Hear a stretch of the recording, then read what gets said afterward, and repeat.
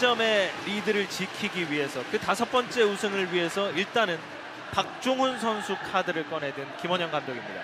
자 아웃카운트 3개가 남아 있는데 박종훈 선수 투입은 푸이그 선수 한 타자만 상대할 것 같네요. 어. 네. 3차전과 4차전 등판을 했었고 부담이 있을 거예요. two 볼 one 스트라이크.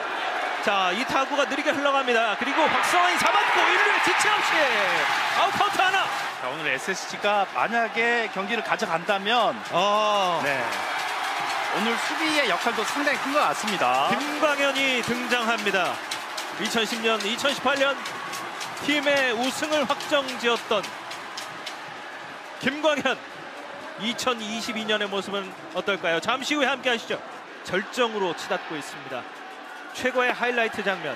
김광현 선수가 두 개 아웃 카운트를 올리기 위해 올라옵니다. 한국 시리즈 두 경기 4.2의 평균 자책점.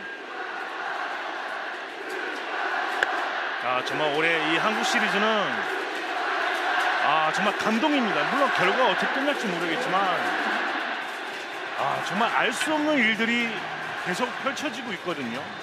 볼카운트를 만들었습니다. 3구 그리고 이 타구는 다시 박성한 쪽으로. 박성한이 잡아서 1루에 아웃카운트 2개. 투아웃 주자 없고 타석에는 이지영. 김광현이 뿌렸고 이정 잘했고! 이렇게 경기 종료! 왕의 귀환 그들이 4년 만에 왕좌에 돌아옵니다.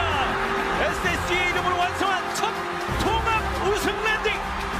2022년에 야구가 시작된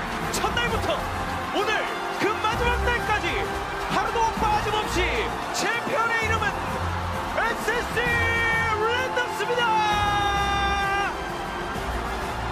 SSG는 정말 이 마지막까지 마지막 아웃카운트로 멋있는 이또 수비 장면을 끝내줬고요.